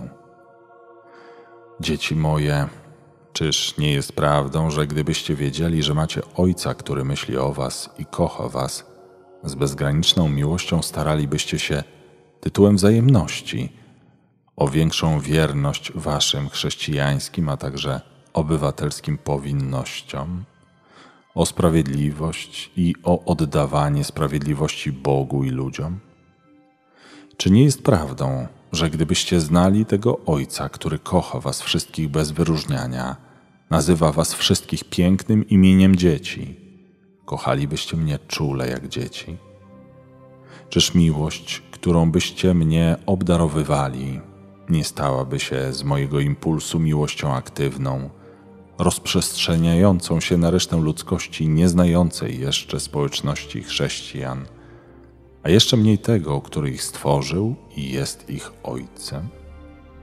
Gdyby ktoś przyszedł przemówić do tych dusz oddających się przesądom, albo do tylu innych, które nazywają mnie Bogiem, bo wiedzą, że istnieje, lecz nie wiedzą, że jestem blisko nich. Gdyby ktoś powiedział im, że ich Stwórca jest także ich Ojcem, który o nich myśli, zajmuje się nimi, otacza ich głębokim uczuciem w tak licznych cierpieniach i zniechęceniach, wtedy nawet najbardziej uparci nawróciliby się. Nawrócenia te byłyby liczniejsze i mocniejsze, to znaczy trwalsze. Niektórzy badając dzieło miłości, którego przychodzą dokonać wśród ludzi, znajdą tu powód do krytyki i powiedzą tak. Przecież od kiedy misjonarze przybyli do dalekich krajów, mówili niewiernym tylko o Bogu, o Jego dobroci, o Jego miłosierdziu. Co więcej mogliby powiedzieć o Bogu, skoro stale o Nim mówią? Misjonarze mówili i mówią jeszcze o Bogu w takim wymiarze, w jakim sami mnie znają. Zapewniam Was jednak, że nie znacie mnie takim, jakim jestem. Przychodzę więc ogłosić się Ojcem wszystkich, najczulszym z Ojców. Przychodzę, aby skorygować miłość, którą mi ofiarowujecie, miłość zafałszowaną z powodu lęku. Przychodzę, upodobniwszy się do moich stworzeń, by skorygować pojęcie, jakie macie o Bogu straszliwie sprawiedliwym. Widzę bowiem, że ludzie żyją, lecz nie wszyscy powierzają się swemu jedynemu Ojcu. On chciałby dać im poznać swoje jedyne pragnienie, ułatwić im przejście przez życie ziemskie, by potem dać im w niebie życie całkowicie Boże. Posiadam dowód, że dusze mnie nie znają, ani wy mnie nie znacie. Nie wykraczacie poza pojęcie, jakie macie o mnie. Teraz jednak, kiedy daję wam to światło, pozostańcie w świetle i nieście światło wszystkim. Będzie ono potężnym sposobem prowadzącym do nawróceń, a także do zamknięcia, jeśli to możliwe, bram piekła. Odnawiam tu moją obietnicę, która zawsze będzie spełniana. Oto ona. Wszyscy ci, którzy wezwą mnie imieniem Ojca, choćby tylko jeden raz, nie zginą, ale pewni będą życia wiecznego razem z wybranymi. Was, którzy pracować będziecie dla mojej chwały i podejmiecie się zadania polegającego na tym, żeby mnie poznano, czczono i kochano. Zapewniam, że wasza nagroda będzie wielka. Policzę bowiem wszystko, nawet najmniejszy wysiłek, jaki podejmiecie, i odpłacę wam za wszystko stokrotnie w wieczności. To wam powiedziałem. W świętym kościele trzeba uzupełnić kult, oddając w szczególny sposób cześć Twórcy tej społeczności, temu, który przyszedł, aby Kościół założyć, temu, który jest jego duszą, Bogu w trzech osobach Ojcu, Synowi i Duchowi Świętemu. Dopóki trzy osoby nie będą czczone indywidualnie i w sposób szczególny w Kościele i w całej ludzkości, czegoś będzie brakować tej społeczności. Dałem już odczuć ten brak niektórym duszom, ale większość z nich zbyt nieśmiała nie odpowiedziała na moje wezwanie. Inni odważyli się mówić o tym, komu trzeba, lecz wobec napotykanego oporu nie nalegali. Teraz nadeszła moja godzina. Ja sam przychodzę, aby dać poznać się ludziom, moim dzieciom, to, czego do dnia dzisiejszego zupełnie nie rozumieli. Ja sam przychodzę przynieść płonący ogień prawa miłości, aby można było w ten sposób stopić i zniszczyć potężną warstwę lodu otaczającą ludzkość. O droga ludzkości, o ludzie, dzieci moje, wyrwijcie się z więzów, którymi do dziś krępował was szatan poprzez lęk przed Ojcem, który jest samą miłością. Przyjdźcie, zbliżcie się. Macie wszelkie prawo zbliżyć się do waszego Ojca. Otwórzcie serca. Proście mojego Syna, aby coraz lepiej dawał wam poznać moją łaskawość wobec was. O wy, którzy jesteście niewolnikami zabobonów i praw szatańskich, wyrwijcie się z tej tyrańskiej niewoli i przyjdźcie do prawdy prawd. Rozpoznajcie tego, który was stworzył i jest waszym Ojcem. Nie utrzymujcie, że posługujecie się waszymi prawami, darząc uwielbieniem i hołdami tych, którzy zmuszali was aż dotąd do prowadzenia bezużytecznego życia. Lecz przyjdźcie do mnie. Czekam na was wszystkich, bo wszyscy jesteście moimi dziećmi. A wy, którzy żyjecie w prawdziwym świetle, powiedzcie im, jak słodko żyje się w prawdzie. Powiedzcie jeszcze tym chrześcijanom, tym drogim stworzeniom, moim dzieciom, jak słodko jest myśleć, że istnieje Ojciec, który wszystko widzi, wie o wszystkim, o wszystko się troszczy, który jest nieskończenie dobry i potrafiący łatwo przebaczać, który zwleka z karą i karze niechętnie. Powiedzcie im też, że nie chcę zostawiać ich samych i bez zasług w niedolach życia. Niech przyjdą do mnie, ja im pomogę, zmniejszę ich brzemię, osłodzę ich bardzo ciężkie życie, upoję ich moją ojcowską miłością, aby uczynić ich szczęśliwymi teraz i w wieczności. A wy, dzieci moje, które straciwszy wiarę, żyjecie w ciemności. Podnieście oczy, a zobaczycie jasne promienie nadchodzące, aby was oświecić. Ja jestem słońcem, które oświetla, ogrzewa i rozpala. Patrzcie i poznajcie, że jestem waszym stworzycielem, waszym ojcem, waszym jednym i jedynym Bogiem. Właśnie dlatego, że Was kocham, przychodzę dać się umiłować, abyście wszyscy byli zbawieni.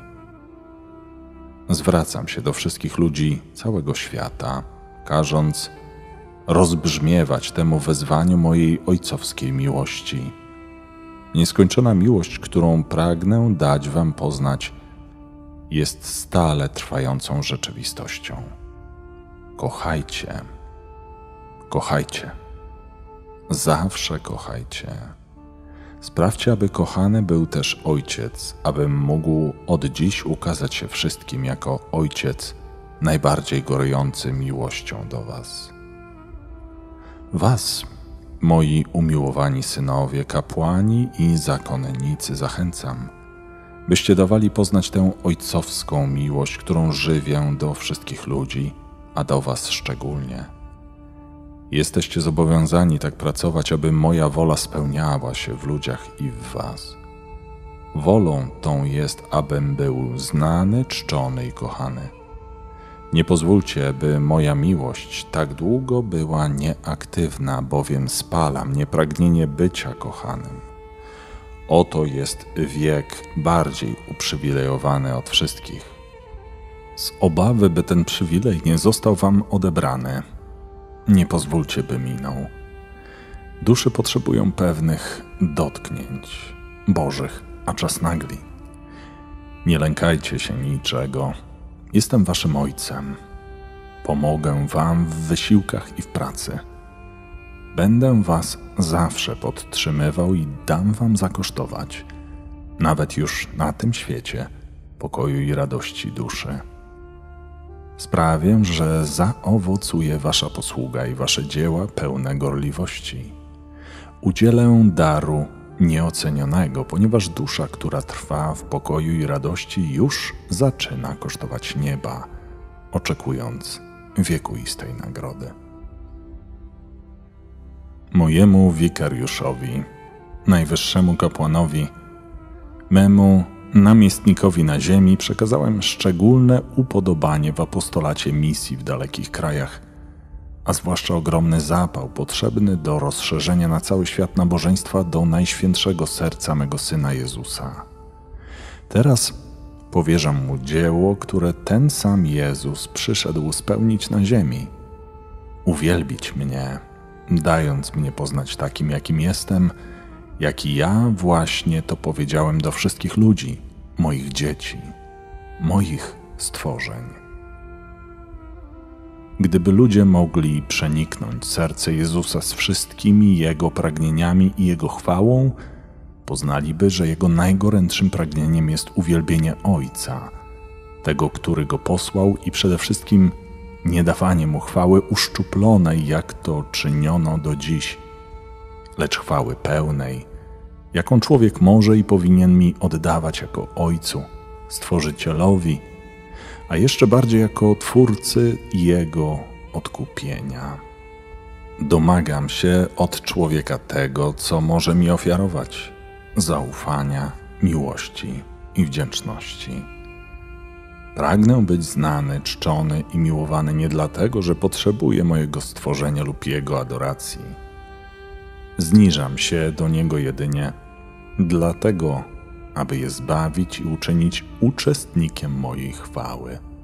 Również dlatego, że moja dobroć i miłość spostrzega, że istoty, które wyciągnąłem z nicości i przybrałem za prawdziwe dzieci, wpadają w wielkiej ilości w wiekuiste nieszczęście z demonami, nie dochodząc do celu swego stworzenia, tracąc swój czas i swoją wieczność.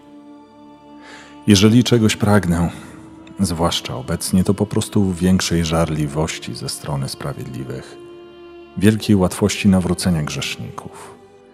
Pragnę nawrócenia szczerego i trwałego, powrotu synów marnotrawnych do domu ojcowskiego, w szczególności Żydów i wszystkich innych, którzy też są moimi stworzeniami i moimi dziećmi, schizmatyków, heretyków, masonów, nieszczęsnych niewiernych świętokradców i członków różnych tajnych sekt. Pragnę, aby, chcąc czy nie chcąc, cały świat wiedział, że istnieje Bóg i Stworzyciel. Ten Bóg, który przemówi podwójnie do ich niewiedzy i do ich nieznajomości. Nie wiedzą, że ja jestem ich Ojcem. Wierzcie mi, wy, którzy mnie słuchacie, czytając te słowa. Gdyby wszyscy ludzie, znajdujący się z dala od naszego Kościoła katolickiego, usłyszeli o tym Ojcu, który ich kocha, który jest ich stworzycielem i Bogiem, o Ojcu, który pragnie im dać życie wieczne. Duża część z nich, także spośród najbardziej upartych, przyszłaby do tego Ojca, o którym mówilibyście im. Jeżeli nie możecie iść osobiście, aby do nich przemawiać, szukajcie innych sposobów. Są tysiące sposobów bezpośrednich i pośrednich. Posługujcie się nimi w pracy w prawdziwym duchu uczniów i z wielkim zapałem. Obiecuję Wam, że Wasze wysiłki będą prędko, dzięki łasce, ukoronowane wielkimi sukcesami. Stańcie się apostołami mojej ojcowskiej dobroci, a przez gorliwość, jaką dam Wam wszystkim, będziecie mieć siłę i moc nad duszami. Będę zawsze przy Was i w Was. Jeżeli dwóch będzie przemawiać, ja będę między tymi dwoma. Jeżeli będzie was więcej, będę między wami. W ten sposób będziecie mówić to, czym ja was natchnę i wprowadzę waszych słuchaczy w pożądane nastawienie. I tak ludzie zostaną podbici miłością i zbawieni na całą wieczność. Jeśli chodzi o sposoby uwielbiania mnie, tak jak tego pragnę, nie proszę Was o nic innego, jak tylko o wielkie zawierzenie. Nie sądźcie, że oczekuję od Was surowości obyczajów, umartwień, że chcę, byście chodzili boso lub wpadali twarzą w proch, posypywali się popiołem. Nie, nie. Chcę, i to jest mi drogie, byście zachowywali wobec mnie postawę dziecięcą, pełną prostoty i zaufania mi. Z Waszą pomocą stanę się wszystkim dla wszystkich, jak najczulszy i najbardziej kochający Ojciec. Będę w zażyłości z Wami wszystkimi, oddając się Wam wszystkim, czyniąc się małym, aby Was uczynić wielkimi na wieczność. Większa część niewierzących, ateistów, bezbożników i różnych wspólnot trwa w niegodziwości i nie wierzę. Sądzą bowiem, że ja będę wymagał od nich rzeczy niemożliwych.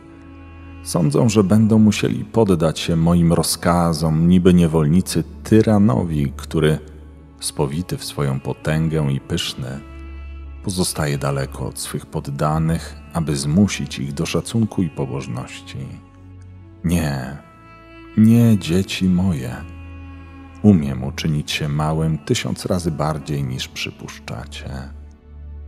Wymagę natomiast wiernego przestrzegania przykazań, które dałem mojemu Kościołowi, byście byli stworzeniami rozumnymi i nie przypominali zwierząt przez nieposłuszeństwo i złe skłonności, byście mogli zachować ten skarb, którym jest wasza dusza ofiarowana wam przeze mnie w pełni boskiej piękności, w jaką ja ją przyoblekłem. Następnie, tak jak o to proszę, zróbcie to, o czym Was już powiadomiłem dla otoczenia mnie specjalnym kultem. Dzięki temu sprawicie, że zostanie zrozumiana moja wola obdarowania Was obficie i dania Wam szerokiego udziału w mojej potędze i chwale, jedynie po to, by Was uszczęśliwić i zbawić. Ujawnić Wam moje jedyne pragnienie kochania Was i bycia przez Was kochanym. Jeżeli będziecie mnie kochać miłością dziecięcą i ufną, to będziecie również żywić szacunek pełen miłości i uległości wobec mojego Kościoła i moich przedstawicieli.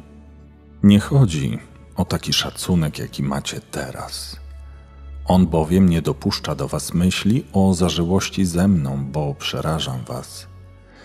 Ten fałszywy szacunek, który mi teraz okazujecie, jest niesprawiedliwością wyrządzaną sprawiedliwości. Jest raną zadawaną najbardziej wrażliwej części mego serca. Jest zapomnieniem, lekceważeniem mojej ojcowskiej miłości do Was. Źle pojęty szacunek wobec mnie jest tym, co mnie najbardziej smuciło w moim izraelskim narodzie i co mnie wciąż smuci w dzisiejszej ludzkości. Nieprzyjaciel ludzi rzeczywiście posłużył się nim, aby wtrącić ich w bałwochwalstwo i spowodować schizmę. Posługuje się nim nadal i zawsze będzie się nim posługiwać przeciw wam, aby oddalić was od prawdy, od mojego kościoła i ode mnie.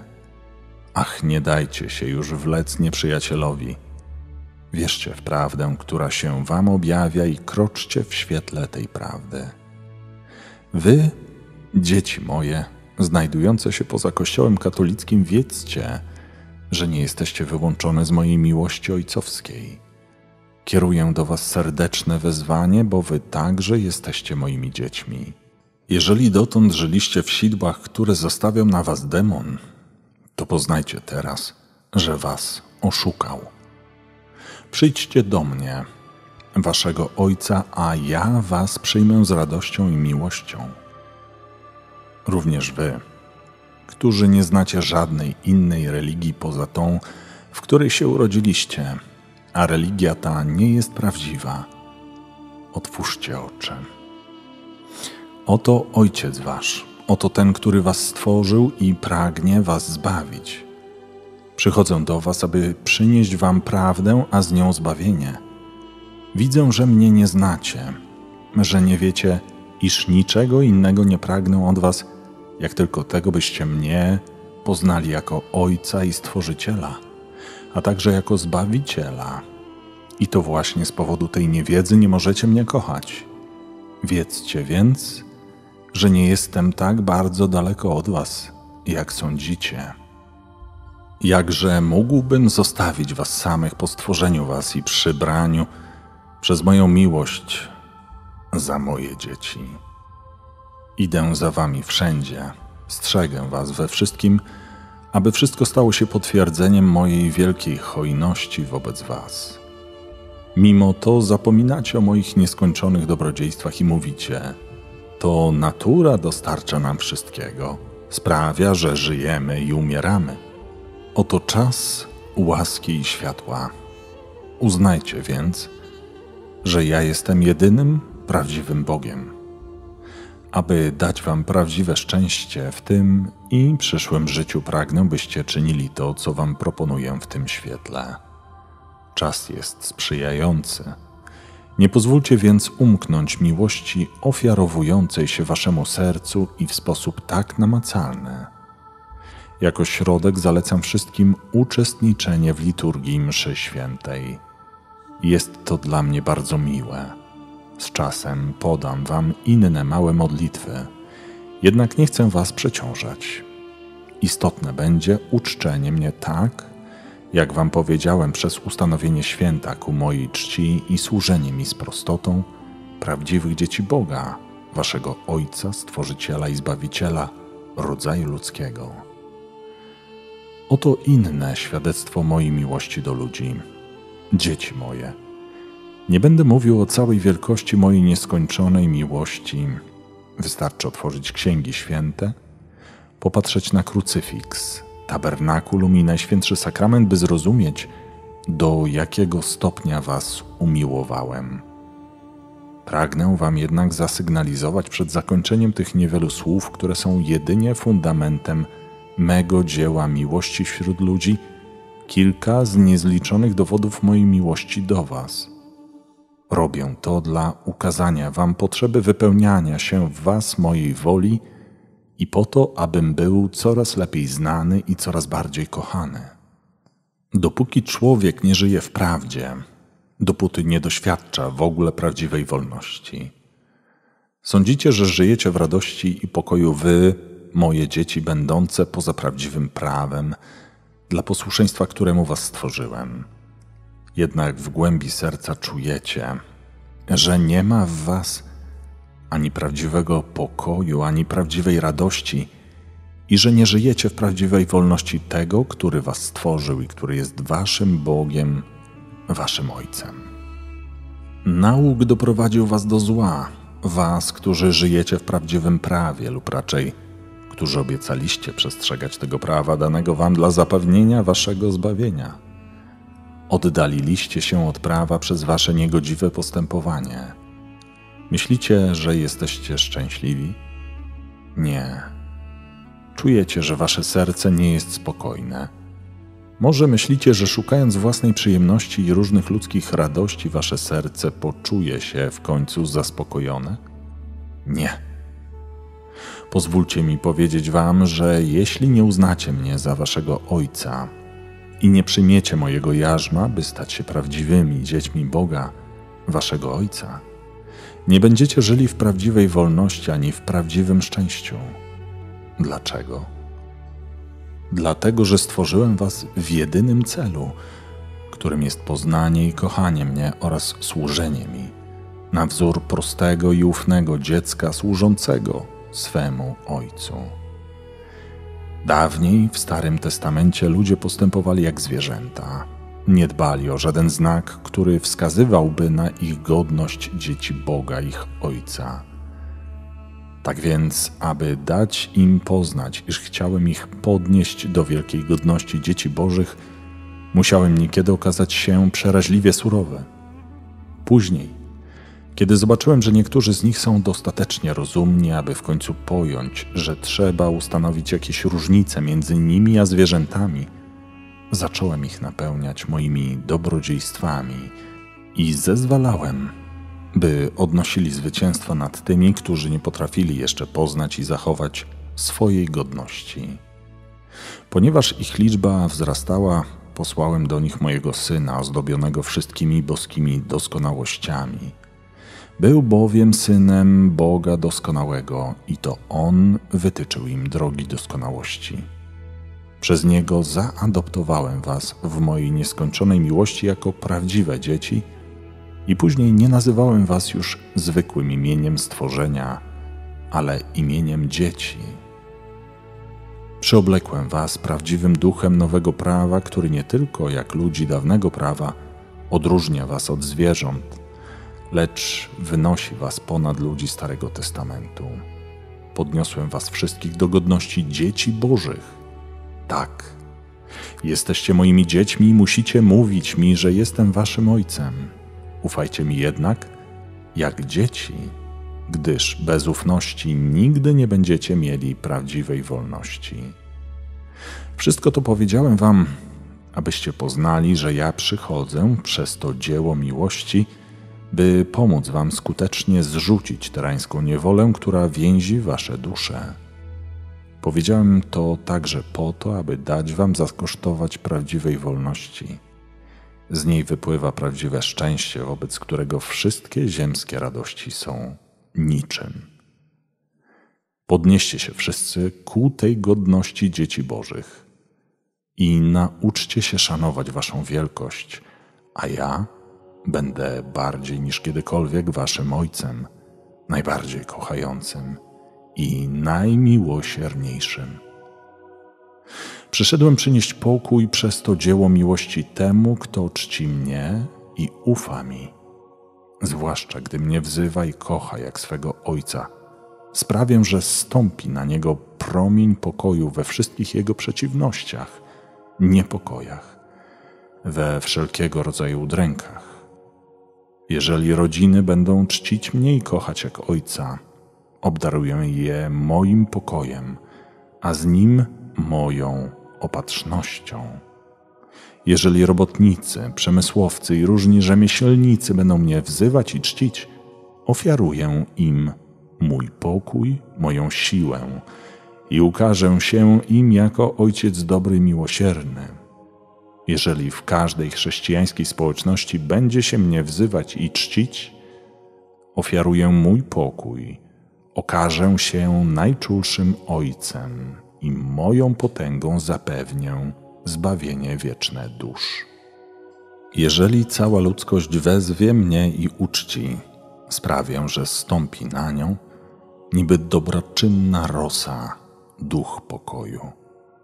Jeżeli wszystkie narody będą mnie wzywać i czcić, nigdy nie będzie już niezgody ani wojen, gdyż ja jestem Bogiem pokoju tam, gdzie jestem, nie będzie wojny. Chcecie osiągnąć zwycięstwo nad waszym nieprzyjacielem? Wzywajcie mnie, a zatriumfujecie nad nim zwycięsko. Przecież wiecie, że wszystko mogę moją potęgą. Zatem ofiarowuję wszystkim tę potęgę, abyście się nią posługiwali teraz i w wieczności. Ja zawsze okażę się waszym ojcem, obyście tylko wy dawali się poznać jako moje dzieci. Czego mógłbym pragnąć przez to dzieło miłości, jeśli nie znalezienia serc mogących mnie zrozumieć? Jestem świętością, którą posiadam w doskonałości i pełni.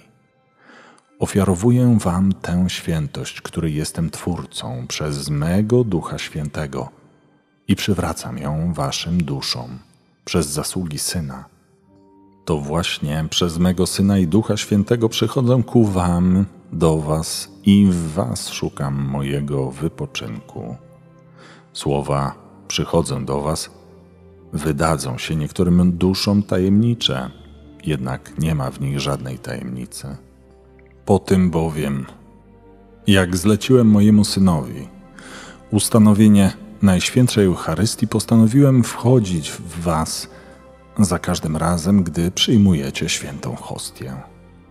Oczywiście, nic mi nie przeszkadzało przychodzić do Was także przed ustanowieniem Eucharystii, bo nie ma dla mnie nic niemożliwego. Jednak przyjmowanie tego sakramentu jest działaniem łatwym do zrozumienia i wyjaśnia Wam ono, w jaki sposób przychodzę do Was. Kiedy jestem w Was, łatwiej daję to, co posiadam, pod warunkiem, że mnie o to prosicie. Przez ten sakrament łączycie się ze mną ściśle i to w tej bliskości. Wylanie mojej miłości sprawia, że w duszy Waszej rozlewa się świętość, którą ja posiadam.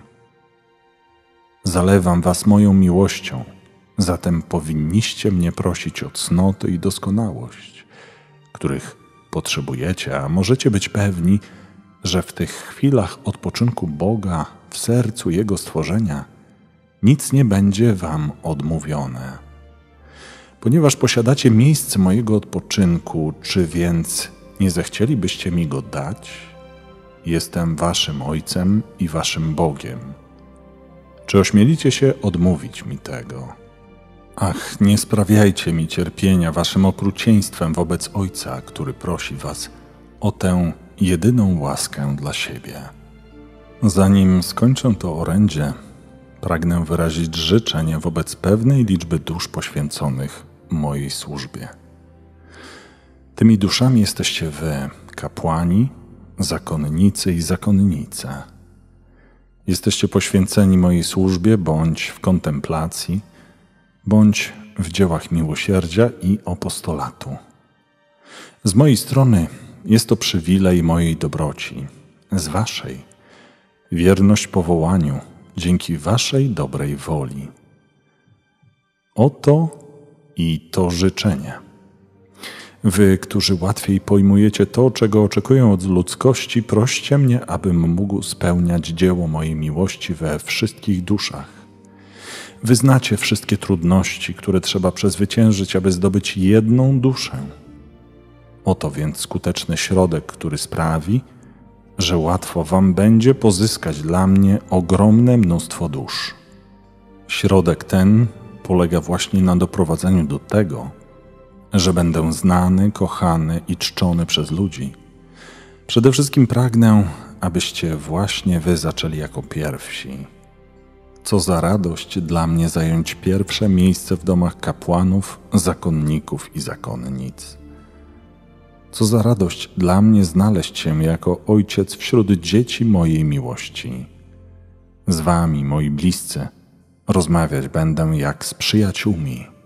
Będę dla was najdyskretniejszym z powierników. Będę dla was wszystkim tym, kto wystarczy Wam za wszystko.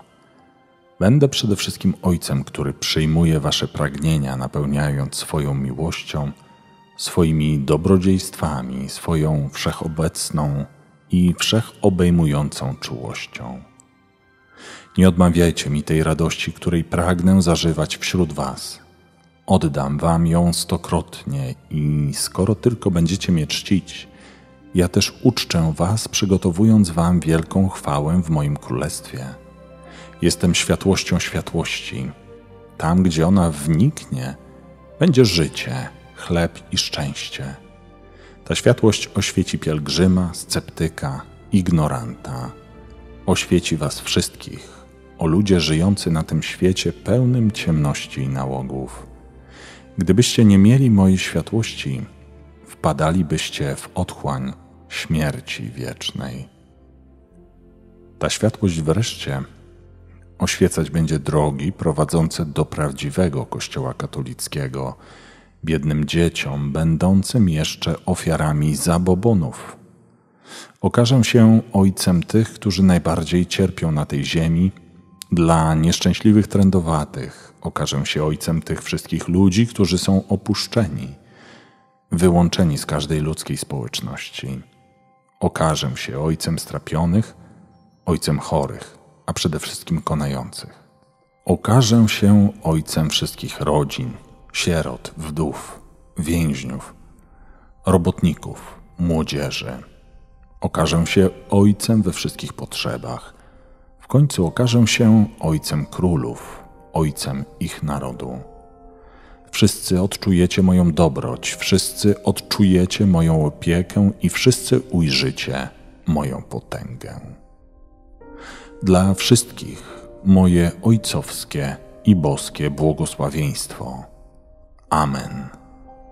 Szczególnie dla mojego syna i przedstawiciela. Amen. Szczególnie dla mojego syna biskupa. Amen. Szczególnie dla mojego syna, Twojego Ojca duchownego. Amen. Szczególnie dla moich córek, Twoich matek. Amen. Dla całej kongregacji mojej miłości. Amen. Dla całego Kościoła i całego kleru. Amen. Szczególne błogosławieństwo dla Kościoła w Cześćcu. Amen. Amen. Modlitwa Matki Eugenii. O mój Ojcze Niebieski, jak jest słodko i miło wiedzieć, że Ty jesteś moim Ojcem, a ja Twoim dzieckiem. Przede wszystkim wtedy, gdy niebo mojej duszy jest czarne, a mój krzyż zbyt ciężki, odczuwam potrzebę, aby Ci powiedzieć: Ojcze, wierzę w Twoją miłość do mnie. Tak, wierzę, że Ty jesteś moim ojcem, a ja Twoim dzieckiem. Wierzę, że czuwasz w dzień i w nocy nade mną i że nawet jeden włos nie spadnie z mojej głowy bez Twojego pozwolenia. Wierzę, że jako nieskończenie mądry wiesz lepiej niż ja, co jest dla mnie korzystne. Wierzę, że jako nieskończenie mocny wyprowadzasz dobro ze zła. Wierzę, że jako nieskończenie dobry sprawiasz, iż wszystko służy dobru tych, którzy Cię kochają i pomimo rąk, które mnie ranią, całuję Twoją dłoń, która leczy. Wierzę, lecz pomnóż moją wiarę, a zwłaszcza moją nadzieję i moją miłość. Naucz mnie dobrze widzieć Twoją miłość, która kieruje wszystkimi wydarzeniami mojego życia. Naucz mnie zdawać się na Twoje prowadzenie jak dziecko w ramionach swej matki. Ojcze, Ty wiesz wszystko, Ty widzisz wszystko, Ty znasz mnie lepiej niż ja znam samą siebie. Wszystko możesz i kochasz mnie, o mój Ojcze, ponieważ chcesz, abyśmy prosili Cię o wszystko, przychodzę z ufnością prosić Cię z Jezusem i Maryją. O, należy wymienić łaskę, o jakiej otrzymanie się prosi. W tej intencji ofiarowuję Ci w jedności z ich najświętszymi sercami wszystkie moje modlitwy, ofiary i umartwienia oraz największą wierność moim obowiązkom. Udziel mi światła, siły i łaski Twojego ducha. Umocnij mnie w tymże duchu tak, żebym nigdy go nie straciła, nie zasmuciła ani nie osłabiła we mnie. Mój Ojcze, proszę Cię o to w imię Jezusa Chrystusa, Twojego Syna. A Ty, o Jezu, otwórz swe serce i włóż w nie moje serce, a potem razem z sercem Maryi ofiaruj je naszemu boskiemu Ojcu. W zamian za to wyproś mi łaskę, której tak potrzebuję. Mój boski Ojcze, spraw, by Cię poznali wszyscy ludzie. Niech cały świat ogłasza Twoją dobroć i Twoje miłosierdzie. Bądź moim czułym Ojcem i chroń mnie wszędzie jak źrenicy Twoich oczu. Niech na zawsze zachowam godność Twojego dziecka. Zmiłuj się nade mną. Boski Ojcze, słodka nadziejo naszych dusz, bądź znany, czczony i kochany przez ludzi. Boski Ojcze, nieskończona dobroci objawiająca się wszystkim narodom, bądź znany, czczony i kochany przez ludzi. Boski Ojcze, dobroczynna roso dla ludzkości, bądź znany, czczony i kochany przez ludzi.